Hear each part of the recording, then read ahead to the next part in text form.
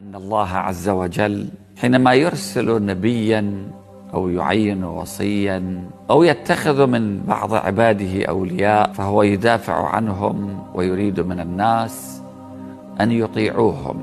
الإطاعة هي العلاقة المطلوبة من الناس مع أنبياء الله وأوصيائهم. فما من نبي يرسل إلا وربنا يريد من معاصريه أن يتبعوه أن يسمعوا منه أن يغيروا حياتهم بناء على تعاليمه. والحسين هنا ليس استثناء بين الأولياء. في الدرجة الأولى مطلوب منا أن نتبع الحسين أن نتبع الحسين أن نتبع الحسين أن نتخذه منهجا وأن نحمل رايته التي قتل من أجلها في هذه الحياة. إضافة إلى أن اتباع الحسين يعود علينا بالثواب والأجر ورضا الله عز وجل تماما.